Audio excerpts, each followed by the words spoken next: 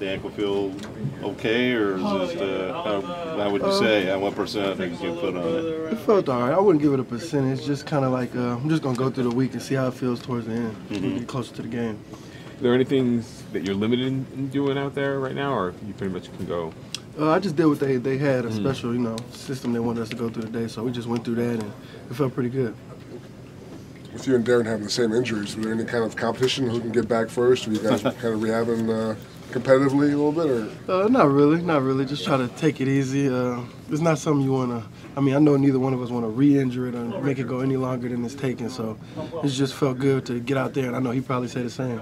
How'd Darren look out there? He looked good. He looked good, uh, especially for the first day back. I mean, uh, just to see him out there running around and getting loose, it felt felt good and looked good. What do you think of the way Marcel played while you guys were out? Oh, great, great, man. Marcel's a beast. I mean, just to do what he's did is impressive. Play both positions, special teams, help out all over the ball. It's, it's great. Coach says he still wants getting the ball a little more now, even when you guys come back. How much can that help the offense?